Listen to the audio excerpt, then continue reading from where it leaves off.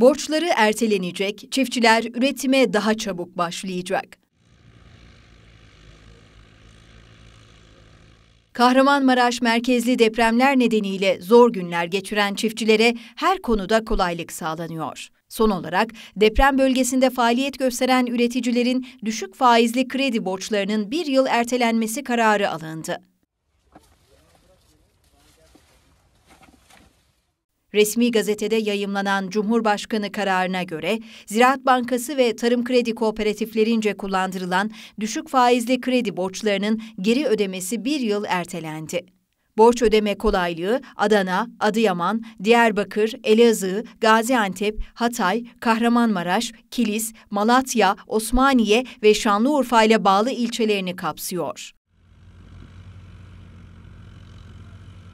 Tarımsal üretimin sürdürülmesi için alınan erteleme kararından ürünleri, hayvan varlıkları, tesisleri, ahırları, seraları zarar gören çiftçi kayıt sistemine veya Tarım ve Orman Bakanlığı'nın diğer kayıt sistemlerine kayıtlı üreticiler yararlanacak. Üretim faaliyetlerine devam eden birlik ve kooperatifler de borçlarını erteleyebilecek.